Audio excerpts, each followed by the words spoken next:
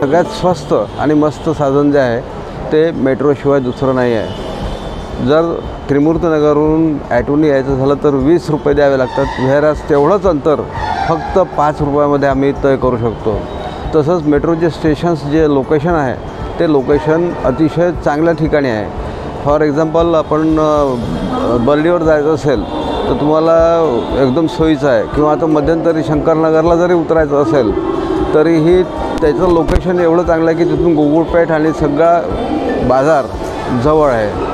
लोकमान्य नगरपर्यंत सगळ्या ज्या सेवा आहेत त्या से ब- सगळ्या ज्या आहेत तिथपर्यंत आम्हाला जायला एकदम सोयीचं साधन आहे.